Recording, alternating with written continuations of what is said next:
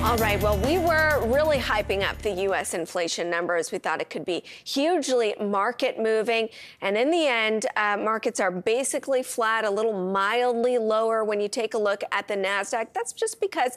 Uh, a, we had a rally going into the numbers. B, they came exactly in line with expectations. So no better, no worse. Uh, and C, as I mentioned, there was kind of something to chew on for everybody to spending, uh, depending on what your perspective uh, was. There are some asset classes, though, that are decidedly uh, making a move. Uh, you take a look at the U.S. dollar, for example, that is under pressure right now. That's putting a bit of a, a fire under commodities, specifically gold Let's bring in Martin Pelletier, Senior Portfolio Manager at TriVest Wealth Counsel, to help us unpack this. I don't know, uh, is there a chance we can make inflation boring again uh, and we don't have to? Uh, you know, get excited or hyper about every reading, every reading like the old days? I don't know. I mean, one can always hope. I mean, the, the, pro- the problem is, is that you know we have a market that's dominated by traders that have only known quantitative easing and loose monetary policy and inflation being below 2%. And so, you know, very few are, are actually can realize that, hey, we can have inflation that is above 2% and, uh, and interest rates that are um, above zero. and so, what does that mean from an investing standpoint? And so, you know, we're, we're just keep anchoring, saying we're going to go back, and, and we want to own those sec- those segments of the market that's going to benefit when it does go back, and and what happens if it doesn't? And what happens then? What's your answer? Well, you know, the, the, big the big question is is to to you know take a look at at previous cycles that that we did have some inflationary pressure. Um, and and going post World War II is is one of them, for example, uh, where we had a, a, major disruption to to economies, not unlike the the COVID situation and the lockdowns. And so you know, in, in our opinion, looking at uh, look at the rabbit versus the hare type of scenario.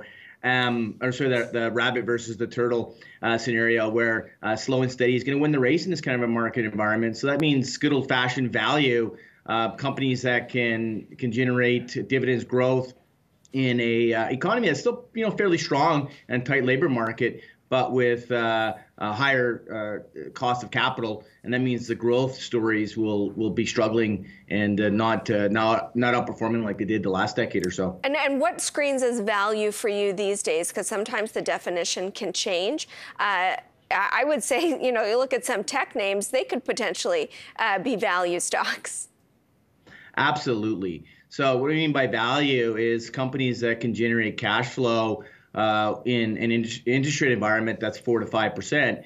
And so there are companies in the tech space that can do that, like Microsoft, for example, uh, maybe even um, Amazon or uh, or Google. Um, and there are those in the tech space that can't, that that really need that low cost of capital to deploy a, a, a rapidly grow uh, growth model uh, into their business plan. Um, other areas that we like are uh, financial services can still make money in, in this kind of environment. You look at the spreads, uh, you look at uh, you know the GIC rates uh, longer term versus longer term treasuries. There's a gap there, so there's some nice spreads that uh, uh, the banks are making. there's also energy that I've been talking about. Um, you're, you're, you know, and commodities. You just mentioned that U.S. dollar is dropping. We think that's going to continue to be a theme and that will benefit commodities uh, producers, especially up here in Canada. Uh, we get a revenue stream in, in, in energy producers get a revenue stream in U.S. dollars and their cost bases in Canadian dollars. So there's a, a, potential trade there as well. Let's spend a beat first before we go. I will unpack the U.S. dollar, but because you mentioned Canadian banks, they're up from the October lows, just like the U.S. banks are, though not uh, to the same magnitude. And there's a question about how can you own banks into an economic slowdown? Uh, what's your answer to that? Well, the the Canadian banks a little different than U.S. banks. Uh, we are operating within an oligopoly type of, of, of environment with large protective moats, and so uh, there's a lot, maybe some more predictability around that. In regards to an economic slowdown uh, in in Canada, um, for example, yeah, I think there's probably more of a of an economic risk to the Canadian economy than the U.S. economy, but the Canadian banks are buffeted a little bit. Looking at mortgage exposure, um, and some of the risks there. A lot of that's been offloaded to the Canadian government via CMHC. Mm-hmm. And so, I mean, I, am I'm, I'm looking at the Canadian banks. I think we're probably, you know, you've got some really nice dividend yields there. Um, probably not a, a, huge amount of capital appreciation. Um, but if you look at the dividend yields and a little bit of growth, you get to eight percent.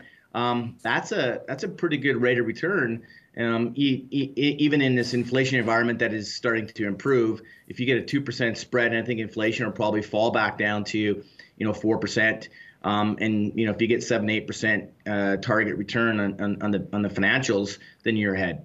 Uh, let's talk about that U.S. dollar because the the move there is pretty decisive. It's off about 10% from the peak, now hitting the lowest level uh, since the summer. Do you think that trend continues? And if so, what are the implications for Canadian investors? Um, great question. I, I, I wrote a piece on this in in my post column this week and I took a look back at 2000 through to 2008. You have to believe that there's a structural shift in the market, and and that that's you know, the the view that we're taking. Um, you you had a major event um, that caused excess fiscal spending that isn't being curtailed that we think will result in higher interest rates for longer. And in that kind of environment, it wouldn't be unlike what transpired post the, the 2000 uh, tech rollover. And, in, and from 2000 through to 2008, you had uh, the S&P 500 that was flat.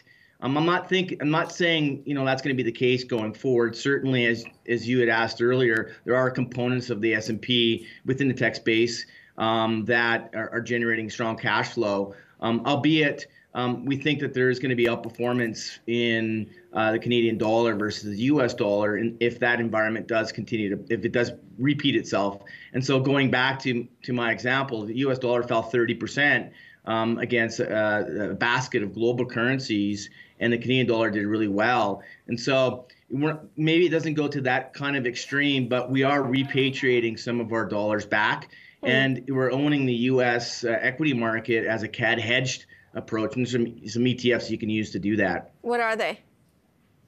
Uh, there's the VSP or the XSP are, uh, are, are two of the CAD hedged, big, well-known Canadian uh, CAD hedged uh, ETFs, and, uh, and, and, and you know they'll, they'll, allow you to own the U.S. market and hedge out the, the falling dollar. Oh, looks like you're getting a Oh, that's. Uh, it looked like you were getting a, um, a, phone call, but I think we were having some technical uh, issues there. Uh, just to reiterate for our viewers, the ETFs you were talking about, the VSP, Victor Sam Paul, and the XSP uh, ETF.